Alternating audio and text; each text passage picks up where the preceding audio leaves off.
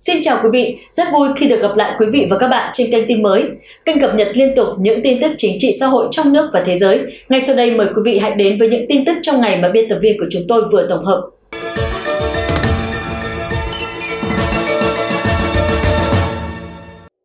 Bản tin lũ lụt Trung Quốc mới nhất ngày 27 tháng 8 năm 2023 Thưa quý vị, Tân Hóa xã Nam Ninh đưa tin, Đài quan sát khí tượng huyện Đại Tân, thành phố Sùng Tả và thành phố Nam Ninh liên tiếp đưa ra cảnh báo mưa bão đỏ.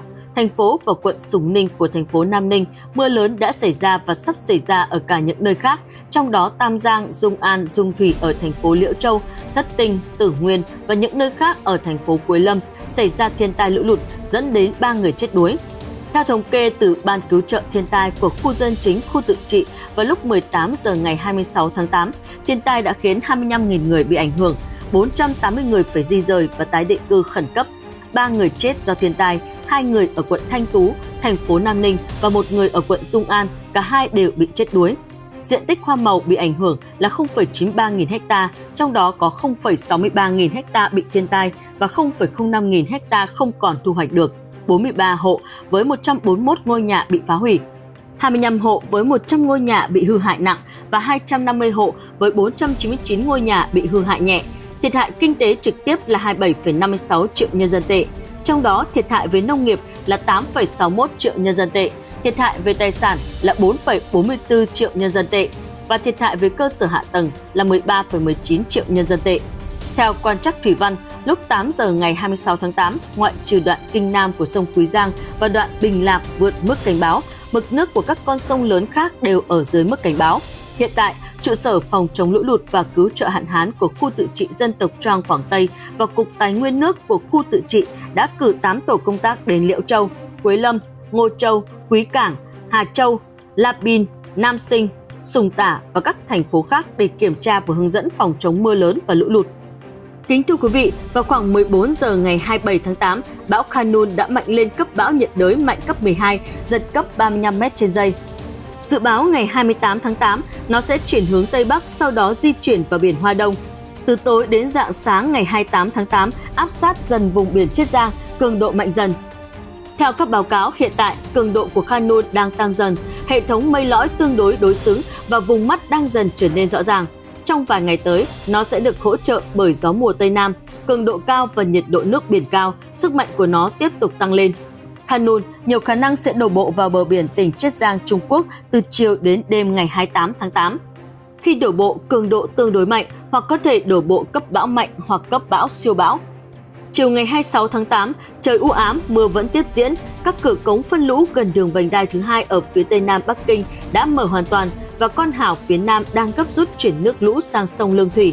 Một phóng viên của Thông tấn xã Trung Quốc đã nhìn thấy tại hiện trường những cành cây ven biển đung đưa trong mưa gió, hai bên có biển báo động sâu 2 mét nguy hiểm, xin đừng chơi ở đây. Dòng nước chảy xiết trên sông đã gây ra những đợt phun nước. Chịu ảnh hưởng của hoàn lưu bão Doksuri, từ đêm hôm thứ Bảy đến dạng sáng Chủ nhật, khu vực Bắc Kinh có mưa to, mưa to ở Trung Bộ và Nam Bộ, có nơi mưa rất to tại các địa điểm ở quận Phòng Sơn và quận Môn Đầu Câu. Bắc Kinh hiện đã đưa ra cảnh báo màu đỏ cho mưa bão, màu vàng cho sấm sét và màu xanh lam cho gió giật. Hôm thứ Bảy, mưa vẫn tiếp tục ở Bắc Kinh và có rất ít người đi bộ trên đường phố. Theo dữ liệu từ Đài quan sát khí tượng Bắc Kinh, từ 20 giờ tối thứ Bảy đến 17 giờ chiều Chủ nhật, lượng mưa trung bình ở Bắc Kinh là 89,6 mm. Lượng mưa trung bình ở khu vực thành thị là 102,4 mm. Lượng mưa lớn nhất xảy ra ở Tam Lưu Thủy, quận Phòng Sơn đạt 296,8 mm. Cường độ mưa trong một giờ từ 6 giờ đến 7 giờ sáng ngày Chủ nhật lớn nhất xảy ra ở Bối Hạ Tư, quận Thuận Nghĩa, lượng mưa là 41,7 mm. Theo tiêu chuẩn khí tượng, quá trình mưa với lượng mưa vượt quá 50 mm trong vòng 24 giờ được coi chung là mưa lớn, có thể chia thành 3 loại theo cường độ: mưa to, mưa rất to và mưa cực to. Hiện lượng mưa đợt hiện tại ở Bắc Kinh đã đạt mức mưa lớn, quá trình mưa kéo dài và lượng mưa cộng dồn cực kỳ lớn, giao thông ở Bắc Kinh bị ảnh hưởng nghiêm trọng. 179 chuyến xe buýt ở Bắc Kinh và nhiều chuyến tàu tạm thời bị đình chỉ. Sân bay thủ đô hủy 52 chuyến bay. Ủy ban Giáo dục thành phố Bắc Kinh yêu cầu các trường học phải kịp thời dừng nhập học, đình chỉ đào tạo ngoại khóa ngoại tuyến, giảng dạy và nghiên cứu ngoài trời, trại hè và các hoạt động khác. Các trường giáo dục đại học đình chỉ học tập trong khuôn viên trường, ngừng các hoạt động giao lưu và hoạt động thực hành ngoài trường. Đồng thời các vùng mưa lớn có tính trồng chéo cao, nguy cơ xảy ra các thiên tai thứ cấp như lũ quét, sạt lở đất, sạt lở đất ở vùng núi và vùng núi nông là rất cao. Vào lúc 15 giờ chiều Chủ nhật, lượng mưa ở làng Bối Hạ Tư, Chu Khẩu Điếm, quận Phòng Sơn, Bắc Kinh vượt quá 200 mm, nước sông dâng cao đáng kể và xảy ra lũ lụt trên núi. 62 hộ dân và 84 nhân khẩu trong thôn đều đã được chuyển đi tái định cư. Vật chất cho khu tái định cư được đảm bảo đầy đủ. Để đối phó với lượng mưa lớn này, Bắc Kinh đã tổ chức hàng chục nghìn người túc trực và cử 5 đoàn thanh tra đến kiểm tra các hồ chứa trọng điểm, dòng sông và các dự án liên quan đến sông, bao gồm 80 hồ chứa lớn vừa và nhỏ. Thành phố có 868 hồ chứa lớn và vừa, các cống nhỏ, 1.752 km đê bao và 45 công trình liên quan đến sông ngòi đang được xây dựng. Là kênh thoát lũ chính của đô thị Bắc Kinh, sông Lương Thủy đảm nhận nhiệm vụ tiêu úng cho khu đô thị phía Nam và phân lũ cho khu vực đô thị trung tâm. Lý Tiểu Hồng, Phó Giám đốc Văn phòng Quản lý sông Lương Thủy ở Bắc Kinh cho biết, Bắc Kinh đã bắt đầu phân lũ phía Nam vào lúc 14 giờ 30 phút chiều thứ Bảy chuyển nước lũ từ hồ phía Nam sang sông Lương Thủy thông qua cống phân lũ để giảm áp lực chống ngập đô thị. Tính đến 14 giờ chiều Chủ nhật, lưu lượng qua cửa xả lũ là 70 mét khối mỗi giây. Hiện tại, mực nước của mỗi trạm sông Lương Thủy đang tăng đều đặn, không có trạm nào vượt quá mực nước cảnh báo. Tiềm năng nước tổng thể của dòng sông đang tăng lên, các dự án khác nhau đang hoạt động bình thường. Cục Khí tượng Bắc Kinh cho biết dự kiến mưa ở Bắc Kinh sẽ tiếp tục kéo dài từ tối ngày 25 tháng 8 đến đêm ngày 27 tháng 8. Lượng mưa tích lũy ở Bắc Kinh sẽ đạt mức mưa lớn. Trong đó, ngày 27 tháng 8, lượng mưa dự kiến sẽ yếu dần, mưa tương đối đều, có nơi mưa nhẹ đến mưa vừa. Thưa quý vị, sau khi Bắc Kinh thông báo có 11 người thiệt mạng do mưa lũ, ngày 26 tháng 8, tỉnh Hà Bắc, miền Bắc Trung Quốc thông báo có 9 người thiệt mạng nâng tổng số người thiệt mạng do ảnh hưởng của bão Doksuri tại nước này lên ít nhất 20 người. Mưa lớn xối xả chút xuống thủ đô Bắc Kinh và miền Bắc Trung Quốc trong 4 ngày liên tiếp kể từ 3 ngày trước đó do ảnh hưởng của cơn bão Doksuri đã gây lũ lụt trên diện rộng và khiến ít nhất 19 người mất tích. Bộ Tài chính và Bộ Quản lý Khẩn cấp Trung Quốc ngày 26 tháng 8 đã quyết định phân bổ khẩn cấp 110 triệu nhân dân tệ, khoảng 15,3 triệu đô la Mỹ từ Quỹ cứu trợ thiên tai Trung ương để hỗ trợ 3 tỉnh thành phố Bắc Kinh, Thiên Tân và Hà Bắc phòng chống mưa lũ.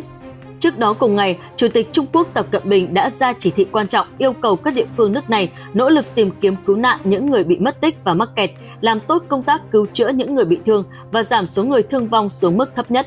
Ngày 27 tháng 8, Trung Quốc cử hàng nghìn nhân viên cứu hộ tới Trác Châu, một thành phố hơn 600.000 cư dân đang ở trong tình trạng ngập lụt ở phía tây bắc thủ đô Bắc Kinh trong bối cảnh ảnh hưởng bão Doksuri vẫn đang tàn phá nhiều khu vực của quốc gia này. Thành phố Trắc Châu thuộc tỉnh Hà Bắc trong những ngày gần đây đang trải qua tình trạng mưa lớn kỷ lục, khiến mực nước trong con sông dâng cao và làm hư hại các cây cầu. Do Trác Châu nằm ở nơi hợp lưu của một số con sông, nó trở thành một trong những thành phố bị ảnh hưởng nặng nề nhất ở Hà Bắc. Khi nước lũ di chuyển xuống hạ lưu, làm ngập các khu dân cư và ảnh hưởng đến gần 650 hecta đất nông nghiệp. Theo Reuters, trích dẫn dữ liệu từ chính quyền Hà Bắc cho thấy lượng mưa trung bình của tỉnh này từ 4 ngày qua tới hiện tại đạt 355 mm. Lượng mưa lớn nhất được ghi nhận kể từ tháng 7 năm 2012. Tình trạng mưa lớn và ngập lụt gây ảnh hưởng tới hơn 134.000 cư dân Trác Châu, với hơn 1 phần 6 dân số thành phố phải tiến hành sơ tán tới nơi trú ẩn an toàn. Hiện một số khu vực của thành phố đang phải đối mặt với tình trạng thiếu nước và mất điện một phần, trong khi các vật tư khẩn cấp như bè và áo phao cũng đang cạn kiệt nhanh chóng. Theo Văn phòng An ninh Công cộng địa phương cho biết, trong bối cảnh đó, Đài truyền hình nhà nước CCTV đưa tin khoảng 9.000 nhân viên cứu hộ đã được điều động đến Trắc Châu và các đội hỗ trợ khác đã được cử từ các tỉnh lân cận Hà Nam và Sơn Tây. Cũng ở trong tình cảnh tương tự với Hà Bắc, thủ đô Bắc Kinh bắt đầu từ thứ Bảy tới ngày 27 tháng 8, ghi nhận lượng mưa lớn nhất trong 140 năm qua. Các trận mưa như chút nước này đã ảnh hưởng đến hơn 44.600 người ở 13 quận và khiến khoảng 127.000 người phải di rời. Theo các cơ quan kiểm soát lũ lụt của thành phố, một số quận như Phòng Sơn và Môn Đầu Câu đang là những nơi bị ảnh hưởng nặng nề nhất. Chính quyền địa phương đã thực hiện nhiều biện pháp để giải quyết tình trạng hiện tại.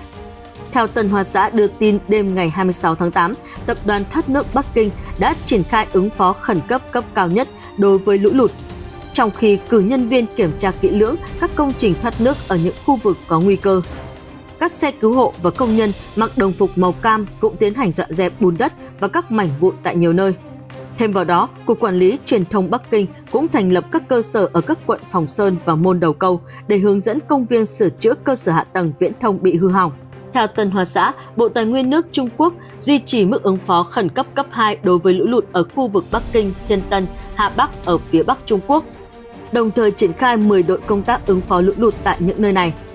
Khi tác động của bão Doksuri giảm bớt, các dự báo thời tiết cho thấy Trung Quốc có khả năng sẽ tiếp tục phải hứng chịu ảnh hưởng của bão Khanun, cơn bão thứ 6 trong năm 2023. Trước mắt, các chuyên gia dự kiến bão sẽ tiến tới các khu vực ven biển phía đông tỉnh Chiết Giang và tỉnh Phúc Kiến của Trung Quốc cùng phía bắc đảo Đài Loan vào hai ngày tới. Sau đó, chuyển hướng đến hòn đảo thứ ba của Nhật Bản là Kyushu. Nhằm chuẩn bị ứng phó với bão, chính quyền tỉnh Chiết Giang đã tiến hành sơ tán hơn 190.000 người dân đến nơi an toàn, tạm dừng 60 tuyến vận tải khách biển và tạm dừng 260 công trình thủy lợi.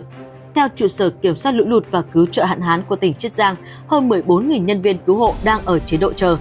Trong khi đó, tại Nhật Bản, tính tới sáng ngày 27 tháng 8, bão Khanun khiến một người thiệt mạng, 11 người bị thương và buộc hơn 200.000 hộ gia đình tại Okinawa trong tình trạng thiếu điện. Cơ quan khí tượng Nhật Bản đưa ra khuyến cáo sơ tán gần 700.000 người dân ở khu vực này.